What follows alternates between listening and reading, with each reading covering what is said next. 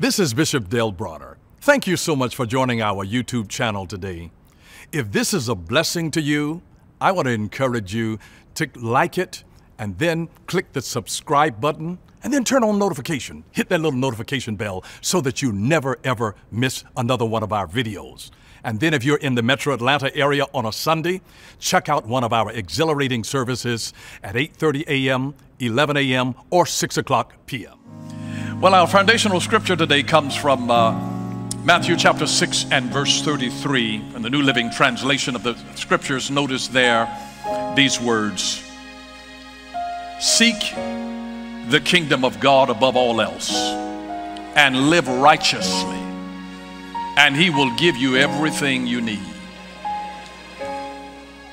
It's real simple. Seek the kingdom of God above all else and live righteously, and He will give you everything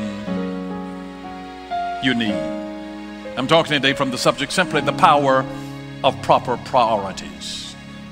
The power of proper priorities. Another way to sort of reinterpret this into modern day English would be to say, after spiritual renewal comes economic revitalization. After a spiritual renewal comes economic revitalization.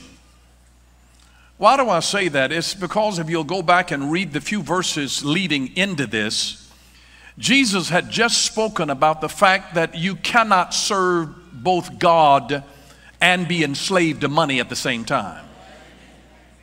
And he talked about not being overwhelmed by the worries and the anxieties uh, of the world concerning your clothing, what you shall wear, your food, what you shall eat, and uh, your drink, what you're going to drink. And so we have to realize that there is something that Jesus is in the midst of, uh, of trying to help focus our real priorities. And He's letting us know because we're seeking reputation, we're seeking uh, jobs and positions, we're seeking scholarships, we're seeking to be recognized. But he says, seek first. First.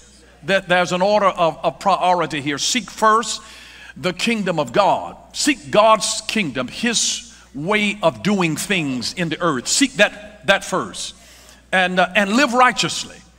God's righteous way, his order of doing things. Seek God's way of doing things, and then He'll give you everything else you need. He's letting us know that this is really a keystone principle. It's, it's almost the same way as when God gave Solomon a blank check and told him, Ask for anything you want. And he asked simply for an understanding heart that he might be able to judge the people righteously. And because he asked for the right thing in the right order, God said, I'm going to give you everything else. You didn't ask for this, you didn't ask for money, but I'm going to give it to you. You didn't ask for notoriety and stature and status, but I'm going to give it to you because you asked for the right thing. And this is the power of proper priorities that if you get first things first, keep them right in the right perspective, God will give you everything else. It opens up the door that leads to every other blessing that you could ever desire from God. So he's just saying, get the first things first. Do first things first. And our priorities in our culture now are so jacked up because it says serve yourself instead of serving others. We're not put here to please and aggrandize our own flesh. We're here to be able to serve other folks. We're here, we're born on purpose, with purpose, and for purpose. And if you think that it's just about you to be able to have your little nice house and your, your children and your job, your career, your reputation, your, your uh, social media followers, it's not about you. It's through you. It's, it's not look at me, it's look at what God did in me. Look at His grace and His mercy for me. Look at what the Lord has done. It is marvelous in our sight. I mean, you ought to be able to realize that we are really, we are not the way, we are the ones pointing to the one who is the way. We're a sign, we're a billboard, not saying, hey, hey, hey, look at me, but read and notice what I'm pointing to. Because of, there's one that's coming after me that is greater. I want to point you, uh, you know, if you like what God has done in my life, I want to introduce you to the one that actually made all of that possible. He says, keep it first. Don't ever start thinking about you smelling yourself because you've done a few things right and got a few blessings and a few accolades. You better point it back to Him. That's our responsibility is to point this thing back to Him and say, look what the Lord has done for me. Look what He's done in me. Look what He's done through me. But look at Him. Look at Him. We are pointing to Him. And if we ever get that priority twisted, where we begin to worship the unholy trinity of me, myself, and I. And my God, we're in such a, a, a self centered, egotistical, egocentric generation right now where people are stuck on themselves. We are so stuck on this self, but we better turn the camera around.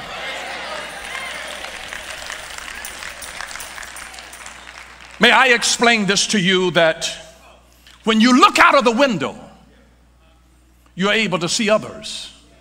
But the moment that silver, money, gets in it, you can no longer see others. When silver is added to glass, it turns it into a mirror. And you can only see yourself. When God designed us to be able to see others, whatever God has shown you in you is not for you, it's only supposed to be through you. And so God wants to use us to be able to bless it. That's why you get your priorities right. Keep it. It's not about you, it's through you. It's not about you, it's for you.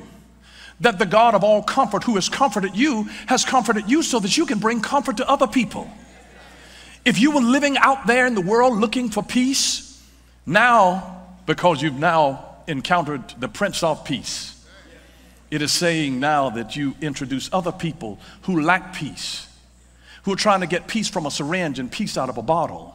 You introduce them to peace, who's a person, the Prince of Peace. And so when we do that, it becomes a wonderful thing. I love this quote by C.S. Lewis that said, Christianity, if false, is of no importance, and if true, it is of ultimate importance. And the only thing it cannot be is moderately important. The gospel can never be just moderately important, it has to be of ultimate importance. Jesus must be Lord of all, or he won't be Lord at all.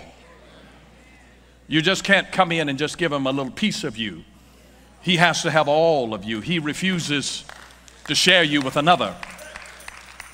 We have to surrender our preferences for his purpose. It's not about us, it's about it's about him. It really is about him. And the good news is that when people seek him, they can find him. Deuteronomy chapter 4 and verse 29 says this, but if from there you seek the Lord your God, you will find him. If you seek him with all your heart and with all your soul, if, if you seek him, with all of your heart and all of your soul, not, not part of it. That's why you got to give him all of you. He's going to be Lord of all or not Lord at all. And Whenever you pursue God with your whole heart and your whole soul, you will find him. And it was Marcus Aurelius that reminded us that the true worth of a man is to be measured by the objects he pursues. It's true of women too. Whatever a person pursues, I'm telling you, your real worth is measured by the objects of whatever you are pursuing. What are you chasing after? What are you chasing after? And it just blesses me whenever I find God chasers. You're chasing after Him with all of their heart, following after Him, saying, Lord, I want more of you, more of you more of you, less of me. May you increase in my life. May I decrease. May you increase. May I decrease. May you increase. May I decrease. What are you pursuing in life? Is it career? Is it opportunity? Is it position? Is it seniority? What is it that you are pursuing? Is it attention? What is it that you are pursuing? And I remind you of this you reveal what you value by how you spend your time. You reveal what you value by how you spend your attention. Because there's a difference between time and attention. Not everybody that you give your time to has your attention. It really bothers me and irks me when I spend time with somebody, they've asked for a meeting with me, and then they're there on their cell phone. I've got their time, but I don't have their attention. Whatever, whatever you give your time and your attention to, we've got more time than we have attention. I was observing a, a table full of young people the other day in a restaurant, and all of them sitting there together and nobody opening their mouth to speak to one another because everybody was on their digital distraction doing their own little things i'm like what's you you could be at home and facetime each other for this you don't even have to be together y'all are not even having conversation anymore it bothers me that when we have lost the capacity to be able to share ideas and we start exchanging images and we don't even talk to one another any longer i mean what is What's consuming your time? What is consuming your attention?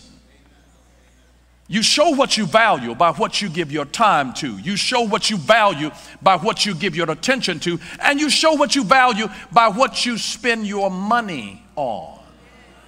Those three things. Put it back on the screen. You show time, attention, money. It's your money. It's whatever you are actually giving the, your, how you spend your time, how you spend your attention, how you spend your money, that really shows exactly what you value. You know why? Because your priorities reveal your values. Your priorities reveal your values. Your priorities reveal your values. Your priorities will reveal whatever you value. And I love the words of Jim Rohn, who said that if it's a priority, you'll find a way, and if not, you'll find an excuse. Isn't that interesting? Isn't it amazing how you can find an excuse for everything that you don't want to do? Have you ever noticed that when it comes time for prayer, people can find an excuse? Well, I, I, can't make it. I, I, I got sleepy. Uh, you know, I, I, forgot all about it. It's, it's amazing. If whatever you value, whatever is a priority, if it's a priority in your life, you'll find a way. If it's not, you'll find an excuse. But I want you to realize that there are certain things in, in terms of priorities. You ought to at least, uh, I mean, you can, you can have a wide variety of, of priorities, but you ought to have three top priorities. And to really know exactly what those three top priorities are, because the moment that you have too many priorities, nothing is a priority. So you have to be able to narrow it down. You have to narrow it down. I remember I was counseling couples uh, years ago. This was uh, 30 years ago. And uh, I asked the, the, the wife to share some things that she wanted her husband to change. After she got to about 38 things on her list, uh, I said, I, I, said, no, no, no, sweetheart, I, I said, you know, I, I appreciate your effort, and I see that you're you know, that, that you, you, you really have it. And this, this man told me, he, he told me ahead of time, he says, my wife is very, very historical. I, I, I said, you mean hysterical? He said, no, historical. she doesn't forget a thing. She remembers, she brings up all of my history. And, and, and here she was, she had 38 things and she was still looking up in the sky trying to figure out the rest of what was wrong with him. And after I saw her list, I said, sweetheart, I said, no, no, no. I said, let's reduce this down to the top three. I said, he can't work on all, all of this at one time. I said, Let, let's start with, with three. Just, let's start with three. Just, just three of the most vital things to you right now. Put those three things down. And I had him to put, now he wrote his three, bam. Just one, two, three. Can you all say with me, one, two, three? That's your, you, you need to get three top priorities every day that you're going to work with, if you really want to maximize your time and your attention, you ought to have three top priorities. What do you need? What three? I know you've got 10 things to do, but focus on three because your focus, the area of your focus is the area of your fire. Do you know that the word focus literally means fireplace? And the moment you lose your focus, you lose your fire. You lose your fire. The moment you lose your focus, you lose your fire. So get three things that become your priorities. Let me tell you this. There's this thing that's called first moments, first moments, uh, first impressions, and first moments. I use first moments because in, in the first moments of every new activity, I, it, it reminds me to reflect back to God. I first wake up in the morning, I think about God. He's my first thought. He's my first, in my first moments, in my first waking moments, I, I think about God. I give Him priority in my time and the focus of my attention. I focus on Him. The tithe is not just 10%, it's the first 10.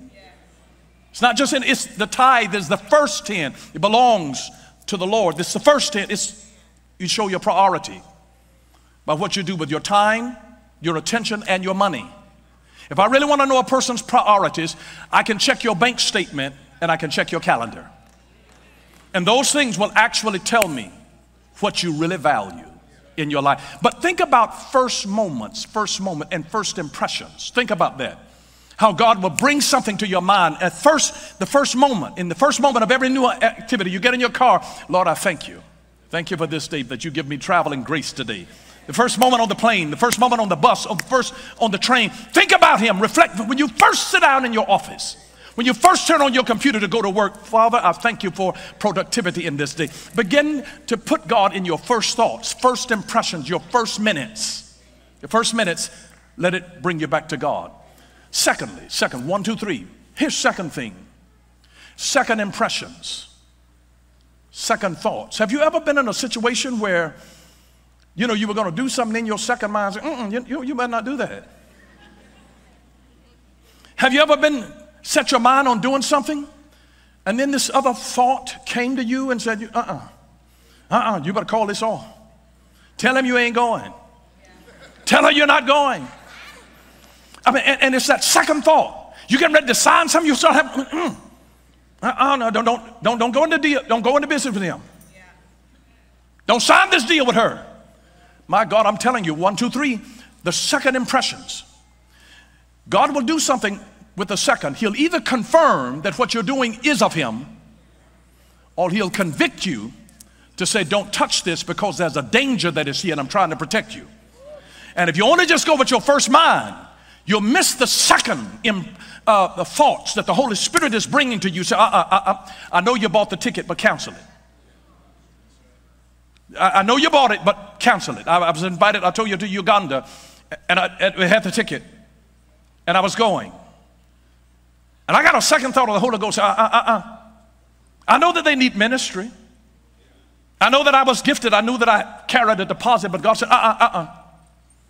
And the very man that I would have been in the car with, the only other American who was going, my pastor, bishop friend there that invited me there to minister, sent me a telegram and said, I'm sorry, but your friend who came here from America, he was in the car ahead of me. An 18 wheeler drifted across the road, head on collision, died instantly. I would have been in the car with that man. I listened to a second thought that says, Don't go. I'd already had the ticket. I could have rationalized, Lord, I've already bit, uh, bought the ticket. They need the ministry. You put a deposit in me, I'm going. But I listened to a second thought. Some of you wouldn't have been in the pickle that you're in now had you listened, though you had given them your number, your Instagram handle, they slid into your DMs. And had you just listened to the second thought, where some, some don't feel right about this. Uh-uh, uh, uh-uh. Nope, nope, nope, nope, not today. Not today, devil. A, a second thought, I'm, I'm just telling you, First impressions, turning your hearts toward God. Second thought, don't sign this. Don't marry it. Just, just a second thought. One, two, three. First thoughts turn toward heaven. Second impressions, where God is either confirming that you should do something or sending a conviction that you should not.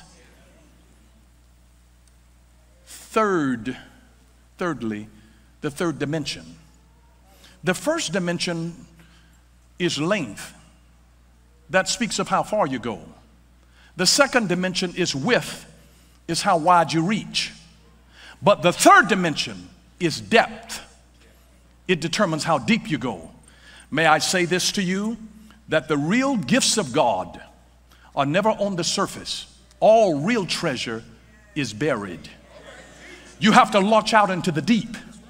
You've got to go to the deeper things of God. You've got to, You, you got to say, Lord, unveil this. Show me the other layer of revelation that is under this. That I have you ever been to a, a situation where you've read this scripture all of your life, and all of a sudden now God is showing you a depth. It's called we call it in depth, and and now we are seeing deeply into it. It is better instead of just going far and wide. It's better to go deep it's better. I would rather have a little bit with understanding to where I have gone with some level of depth in this thing. I may not know the whole Bible and be able to quote every chapter from Genesis uh, all the way down to Revelation. Maybe I can, but, but, but. But even if, if, if you've got all of this mass and of, of width and length, if you don't have any depth of understanding, it's about the depths of what you are able to understand. It is when you speak out of the depths of your spirit. It is when you speak out of the deepness of the deposit of what God has done in your life. Is anybody understanding what I'm saying in this place today? It is when you have lived richly and you understand this thing deeply because God has brought you through a storm or through a sickness and it didn't cause you to start doubting God. It caused you to dig your claws deeper into God and said, God, for you I live and for you I die. And if it were not for you, God, on my side, I wouldn't have made it. You sustained me through the brokenness of relationship and through the abuse and through the abandonment. God, you were with me. And when you have a deep understanding of God, when the storm begins to come, your roots begin to grow deep down into the ground and He begins to undergird us. One, two, three. You turn your thoughts toward God. Secondly, you get a second thought of the conviction or the confirmation of the Holy Ghost. And the third is the third dimension of depth. It speaks of depth, not about how far you can go, not about how many people that you can reach. Because when you have masses of people, you can impress people from a distance, but you can only impact people up close. That's why I'm excited about these young evangelists that are in this place today to be able to do discipleship on a small up close when Jesus took 12 men in a small group. It wasn't a mega church, it was a small group. And he was able to talk to 12, 11, 12 folks. And one of them was a devil.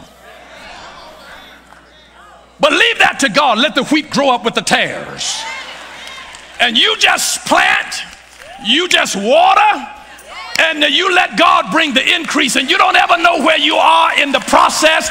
Let God be God and impact the lives of people up close and personal, the way that Jesus did in dialogue and conversation with people.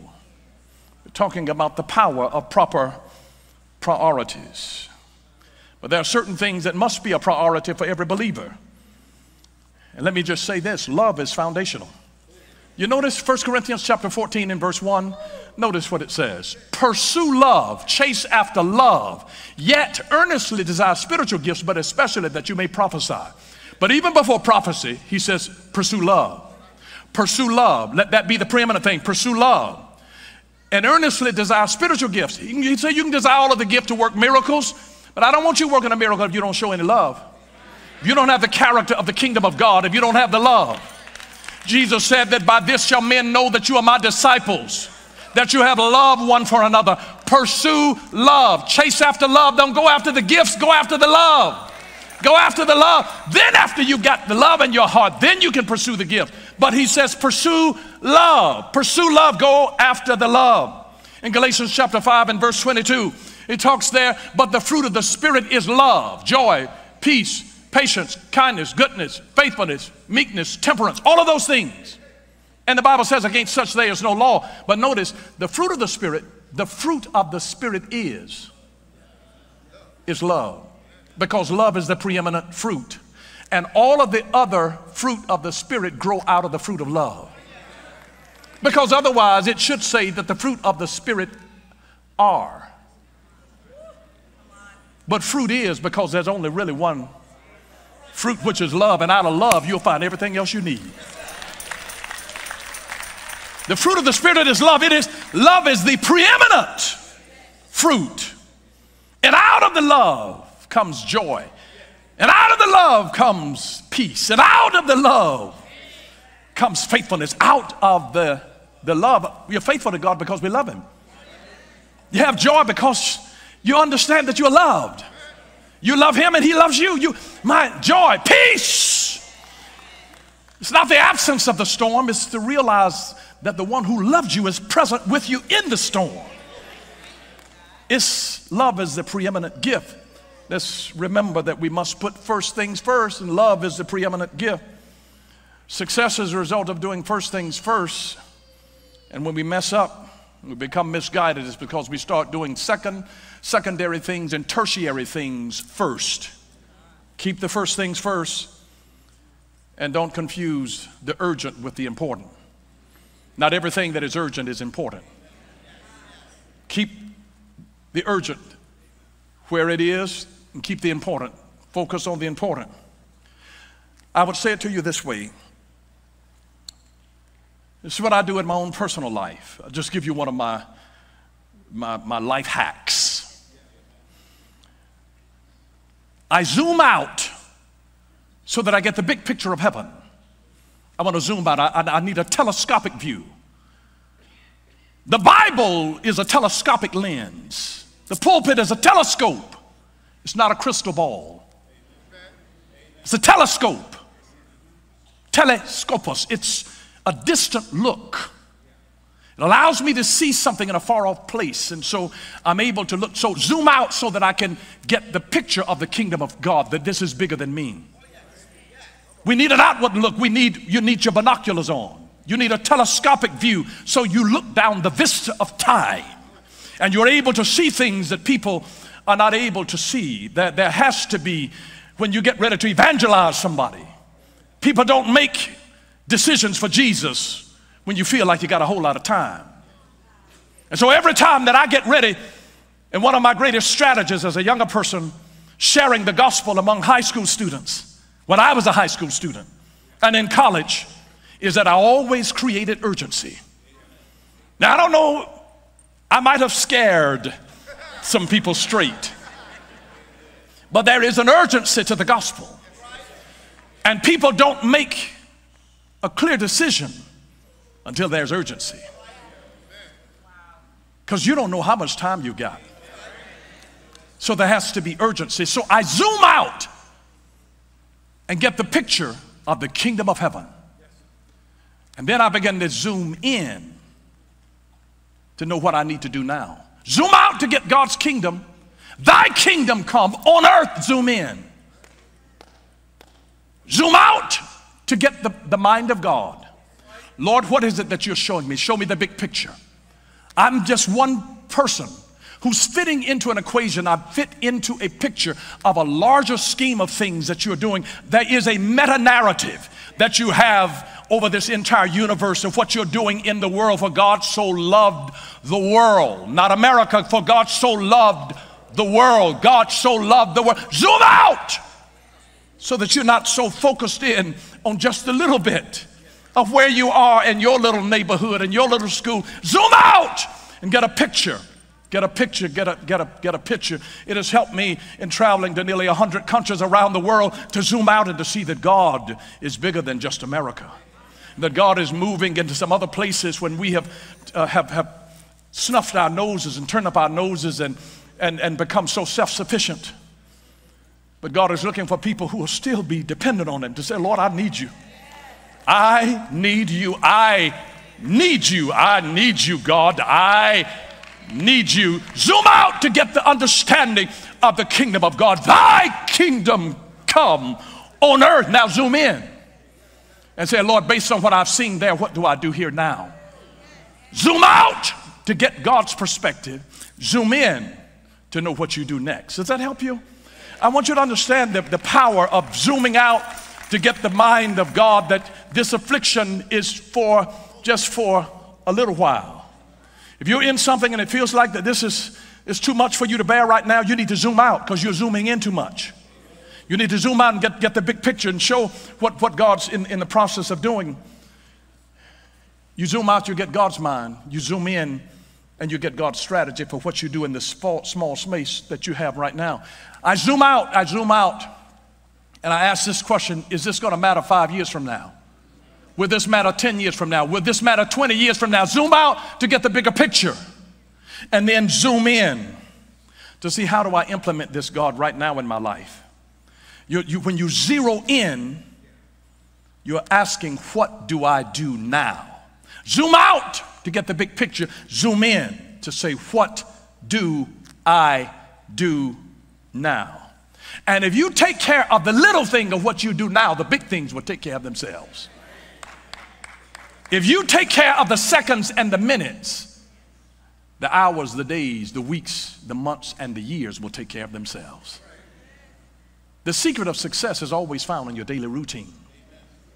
Success doesn't come in a day, it comes daily.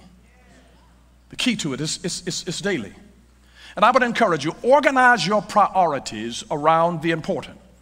God first, family second, your business, your career, your ministry third. Keep God first. Take care of your family. Your, fa- your family is your first small group. That was God's original plan for the small group was the family. Then your business, your career, and your ministry, and all of these other things. One, two, three. One, two, three.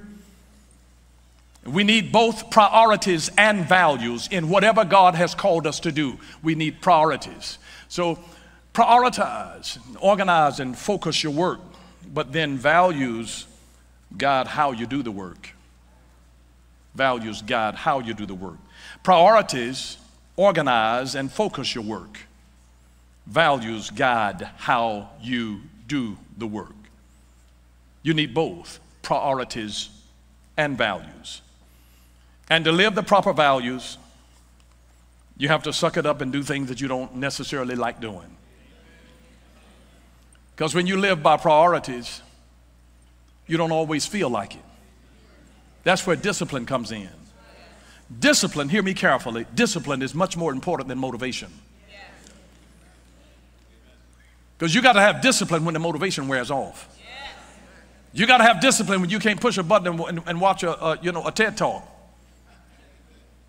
When you can't turn on a podcast and be motivated. When you can't just turn on Bishop Bronner and get your motivation, you know, get your, get your feel good. You, you got to have a discipline and say, Lord, I don't feel like it today, but Jesus, I, I need you.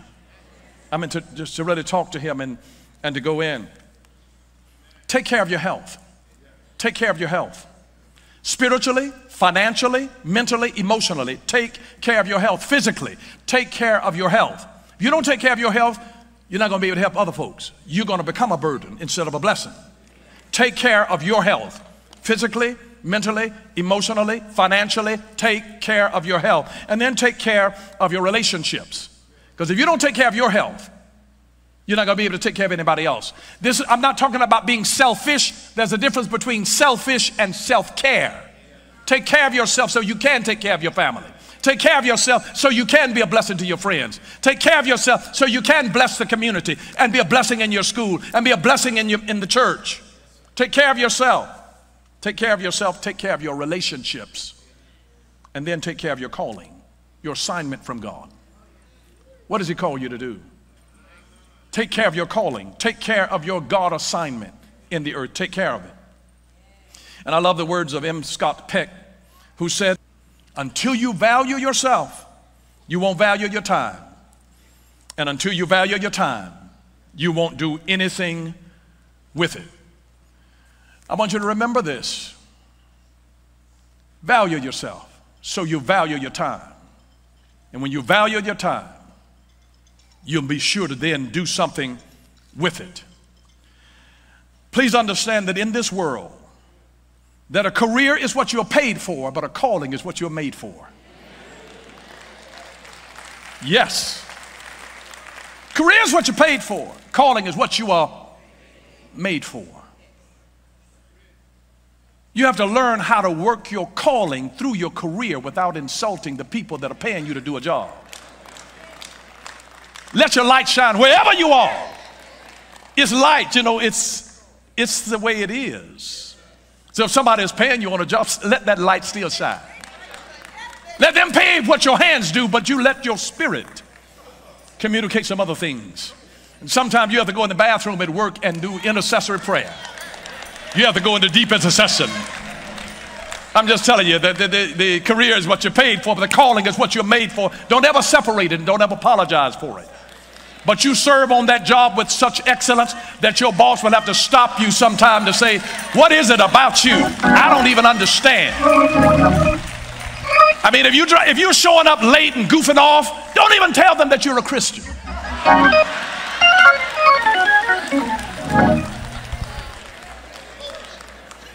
I want to encourage you today if you really want to be able to understand the power of priorities, you got to make a list of what you have to do. Make a list of what you have to do. Then make a list of what you want to do. And then make a list of what you get to do. You know, get your priorities. There's certain things you have to do. There are other things you want to do, and there are other things that you get to do. There are other things that you get to do. There's a saying that says that if you raise your children, you'll be able to enjoy your grandchildren. But if you just enjoy your children, you're going to have to raise your grandchildren. Oh, my, my God. Some of you haven't lived long enough to understand what that means.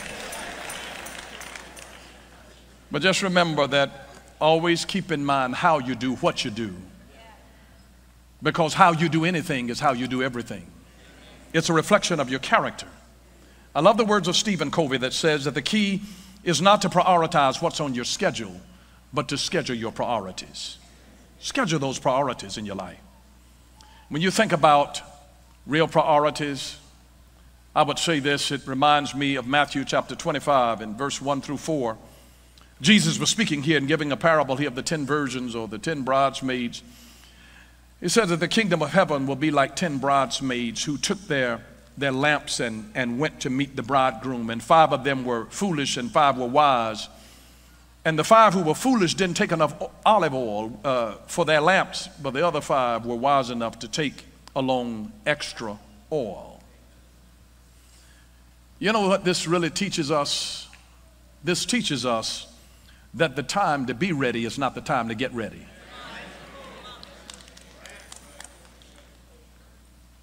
But I want you to understand a deeper truth here, and it is this is that we cannot afford to focus on our lamps, our external, and neglect the internal oil that keeps the lamp burning. But our hair is laid and our eyelashes are, and your nail polish is popping, and those shoes are matching that purse. All of that's a lamp. And if you don't have some oil, it doesn't matter how flawless your skin is and how tight your weave is, that's a lamp. Your ministry is a lamp. It's the oil. Shikabafrichite. It is the oil that is in the lamp that fuels the light. And if you don't take care of your relationship with Jesus and your relationship with the Father and your relationship with the Word, your oil is going to run out and your lamp is going to go dark.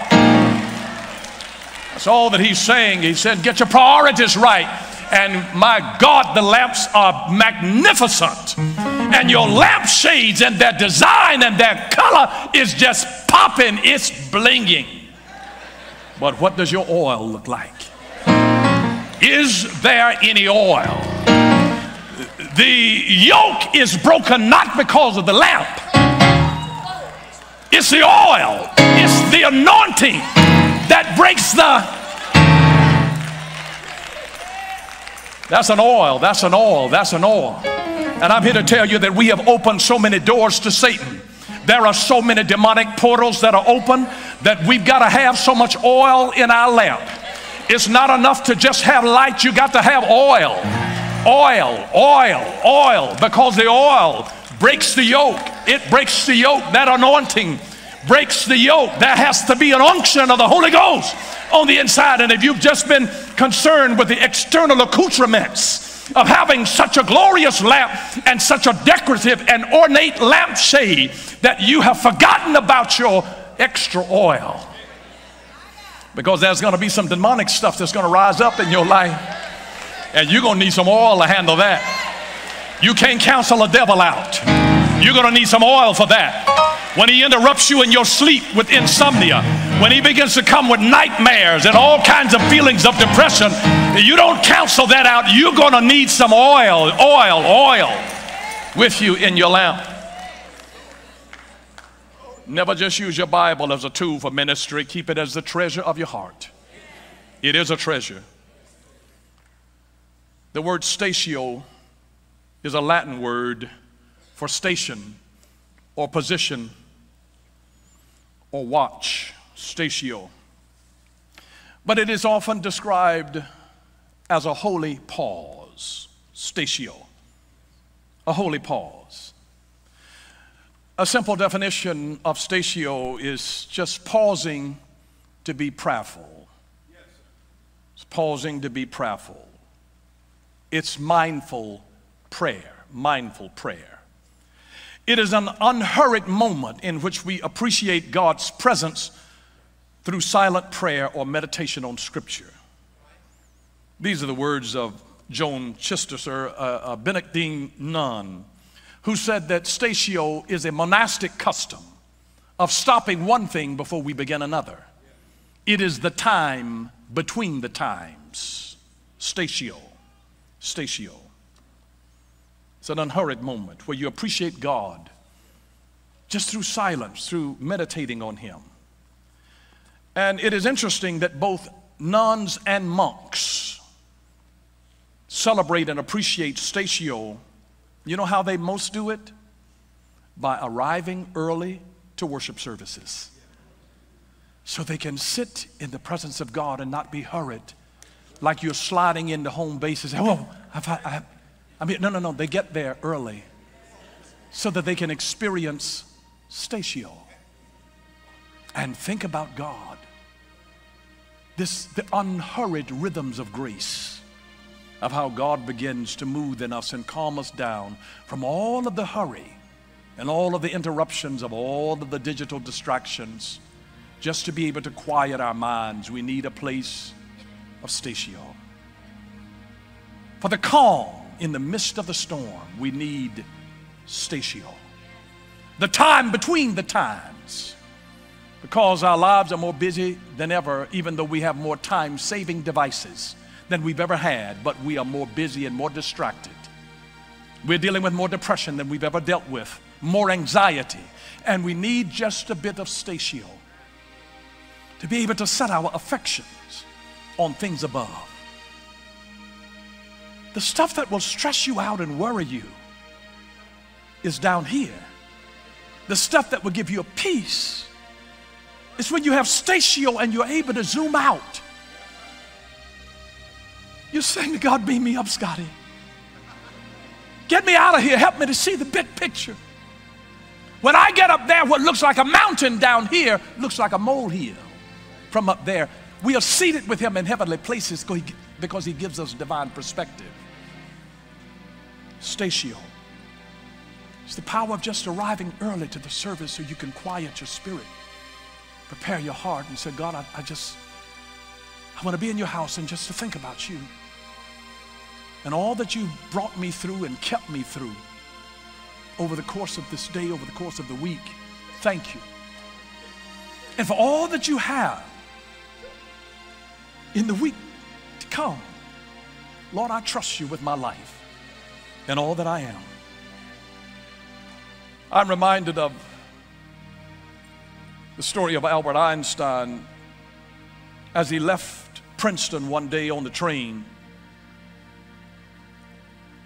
he boards the train like an absent minded professor that he was. Brilliant, though, in his mind. And he's sitting on the train, and all of a sudden, the conductor is coming through the chain, and he asks for the ticket to be able to punch the ticket to verify that every passenger who's on the train has actually purchased a ticket to be on board. And he comes to Dr. Albert Einstein. And Einstein searched his vest pocket and couldn't find it, and he searched his trouser pocket, couldn't locate the ticket. He looked inside of his suit coat. He, he then turned to his briefcase and searched his briefcase and couldn't locate his ticket. He looked in the seat beside him and still couldn't find his ticket. The conductor, looking at Albert Einstein, he knew who he was. He said, Dr. Einstein, he said, It's okay, I know who you are. And I know that you wouldn't have gotten on this train without purchasing a ticket. He said, You're okay. And the conductor went on down, asking for tickets and punching them, and punching them, and punching them. And then he had, the conductor had moved on to the next car. He looks back through the window and he sees Einstein with his hair all discombobulated on his hands and knees up under the seat looking for the ticket. The conductor comes back to him and says again, Dr. Einstein, I told you, you don't need a ticket. I know who you are. I know you got a ticket and you may not be able to find it now, but I know you're not that kind of guy that would just sneak on the train. And Albert Einstein nodded in great appreciation, thanking him. And he said, I know you know who I am. He said, and I know who I am. But I need my ticket because he says, I've forgotten where I'm going. that information was on the ticket. But I came to announce to you today I know who I am and I know where I'm going.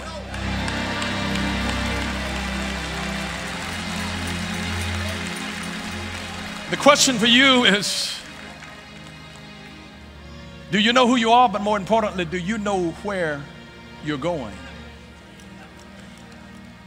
Jesus already purchased the ticket. But do you know where you are? Where you're going? I don't want to be presumptuous. Every head bowed, every eye closed. If you're in this place, you're watching on live stream today, your life is hanging in the balance. You'd be surprised how quickly your life can be snuffed out.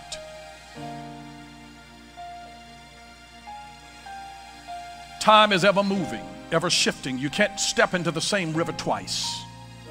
Everything is changing. Tomorrow is not promised to you, it's not promised to me. I believe in living my life in such a way that I'm going to die the next moment but yet being prepared as though I will live forever. And today, if you don't know beyond the shadow of a doubt that if you were to die tonight, where you're going, you don't have that ticket with that blessed assurance on it, letting you know where your destination is. You might have been a stowaway on the train because you've been around religious folks and you were born into a Christian family. May I remind you of this God has no grandchildren. You must be a child of God for yourself. You're not a child of God because your mama or your daddy was a child of God. Every tub has to sit on its own bottom. You've got to know Jesus for yourself. And if you're in this place under the sound of my voice or watching on live stream, this is a time of deep introspection where you need to say, God, I believe in you. I failed, I've missed the mark. I don't know if I were to die tonight. I try to be good. Lord, I've messed up. I've done some terrible things. All of that's under the blood. When you accept Jesus, you open your heart to Jesus. We simply repent and turn to Him. And He extends His goodness and His grace to us. We hope that you enjoyed that message. Don't forget to like and subscribe and then press the notification bell so that you don't miss another one of our videos. And if you want to partner with us, click the Give Now button. Thank you for what you do.